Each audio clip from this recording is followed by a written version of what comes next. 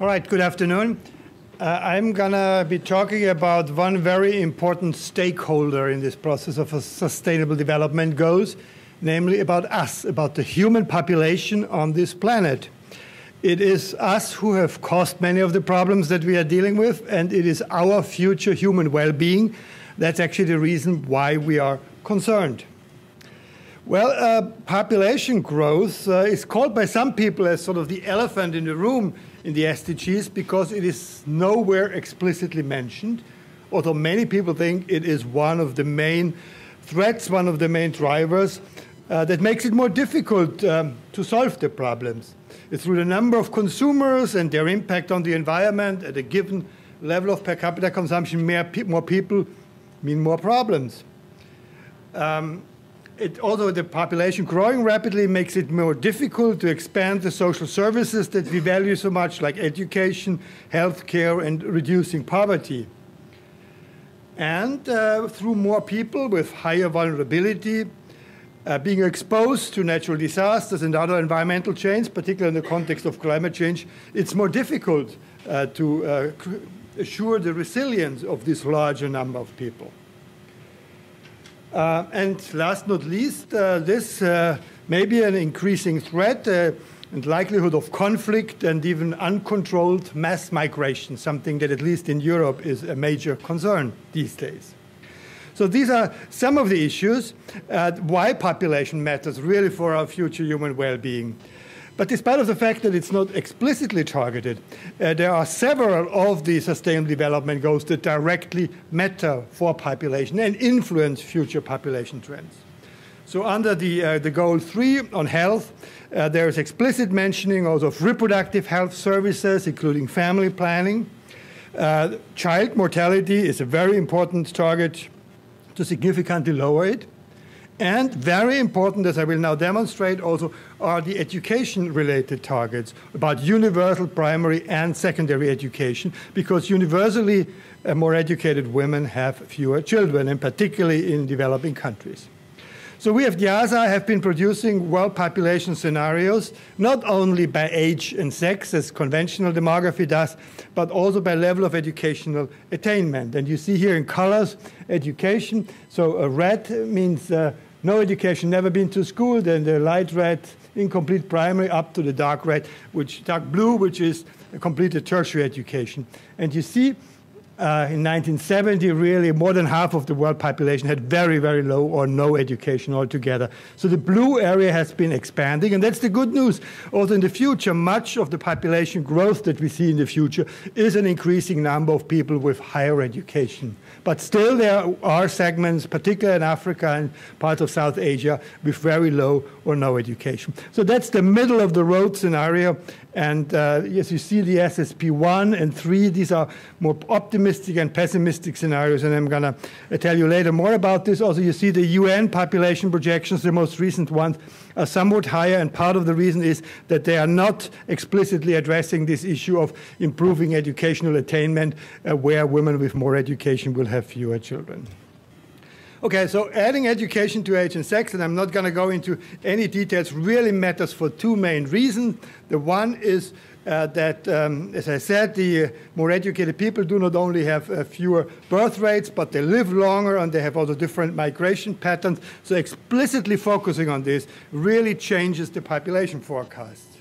But of course, education also is a crucial determinant of individual empowerment or human capital, as the economists call it, and therefore it's a key driver of socioeconomic development, ranging from public health uh, to economic growth, even the quality of institutions, democracy, we've shown to be very highly dependent on the uh, education of the broad segments of population, and ultimately also adaptive capacity uh, to already unavoidable climate change. Just to illustrate this a bit, one of my favorite pictures is this adding color to the age pyramid. So this is the example of Singapore in 1970. So the red again is uh, women and men without any education, a dark blue tertiary. Uh, you see, um, Singapore in the 50s was a miserable place. It was desperately poor, completely uneducated, malaria ridden. And then uh, early in the 60s, they really started massively to invest in education, still at a poor state. And now you see a population here where the older ones above age 40 are essentially all uneducated. They cannot even read and write, whereas the younger generation gets better educated. And now this process, what I we call demographic metabolism, intergenerational change, moving up the age pyramid, shows how in 1980, 1990, the young population really got much better educated. And this was the time when public health improved, malaria was eradicated, and in particular, this phenomenal economic growth happened when these highly educated young people came into the main working ages. But at the same time, the elderly are still uneducated, We're still uneducated then, and are still today. So 2000, now uh, young people in Singapore are already better educated than young people in Europe and the US. 2010. And of course, we can continue this in the future. This is now under the middle of the road scenario, Singapore 2020. Now, you see, of course, more educated women have much fewer children, so you have significant population aging here. But since the population is so much better educated, and this is the same question we're facing in Europe or in the US, uh, can the better educated young population compensate in terms of higher productivity uh, for their smaller numbers? Okay, uh, we've put uh, much of this together uh, in, a, in, a, framework really uh, to view the future of the world population uh, also by human capital and see what education by itself makes uh, to world population growth. And uh, here we showed sort of two alternative scenarios. They have identical sets of birth rates for women by different education level, but we only have different education scenarios. So here, this is the most pessimistic, constant enrollment numbers, no new schools being built. And you see the world population increasing very rapidly, hitting already the 10 billion mark by the middle of the century the same education-specific fertility rates, but much stronger efforts in education. Really, every country in Africa essentially launching something that's similar to what we've seen in Singapore or Korea. And you see many more educated, and already by the mid-century, more than 1 billion less on this planet. So then about the effect, the interactions, the synergies between education, health, and uh, population growth. Um, now, what about economic growth? With the same uh, age specific education patterns that we've reconstructed for all countries of the world, we could now newly address this main and important economic question what are the key drivers of international economic growth? Economists have struggled with this. Theory tells yes, human capital is the key driver, should be the key driver, but their economic growth regressions didn't show it consistently because they had the wrong education variables. They just took the mean years of schooling for all the age groups together. Once we differentiate by age, uh, as I showed in Singapore, the specific age groups coming into the decisive ages, then it comes out beautifully clear that indeed education is the key driver of economic growth. And we have a significant underfinding that you see here on the right hand side that universal primary education is not enough to get poor countries out of poverty, it really requires the education, secondary education of broad segments of the population. And this was in 2008 when the Millennium Development Goals still were focusing only on universal primary education. And therefore, we are very happy to see now that the 2015 Sustainable Development Goal 4 uh, talks about quality primary and secondary education for all girls and boys. Now, uh, education also is not only a driver of many of the good things, a determinant, it also helps to protect us. So here what is plotted is sort of the circular thing. You have the human population consuming, causing greenhouse gas emissions, contributing to climate change. But it was mentioned just before uh, that also innovation and technological improvements may a big role in mitigation of climate change, but this also has to be invented by the human beings, by us, and it depends on our uh, education, our skills, and the, the, institutions that we have. So these both avenues uh, influence climate change. But then there is already unavoidable climate change that will affect our future well-being, and therefore the notion of differential vulnerability is quite important. We are not all equally affected. Some people are affected more than others depending, of course, on the place where they live, but even at a given location, it depends on age, on the gender of the person, and also very much on the education level we could show.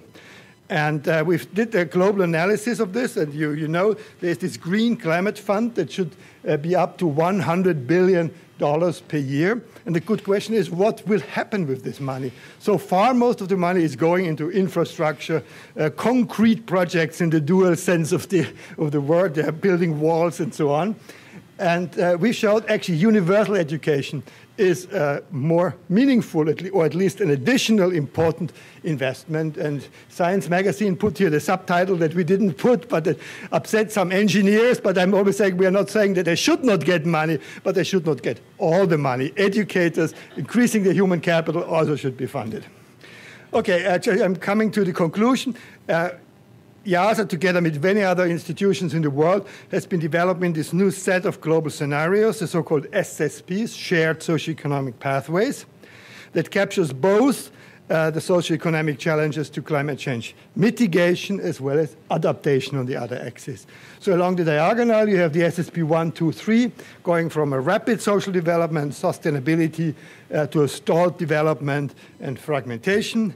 And we've recently, in a major book uh, that was dedicated to Nathan Keyfitz, who was the leader of the World Population Program in the 1990s, after uh, being professor emeritus from Harvard University, who really developed these methods of multidimensional demography that we applied now to all countries in the world.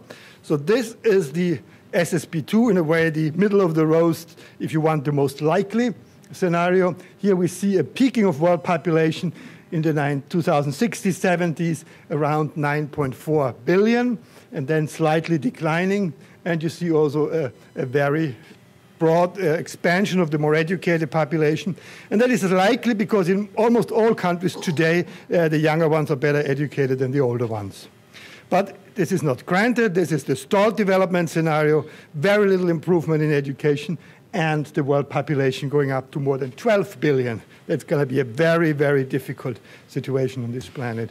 And we can have the SSP1, which is a rapid development scenario, peaking earlier and even better educated. Now, uh, we are just at the moment in an exercise to translate the development goals into one S SDG population scenario.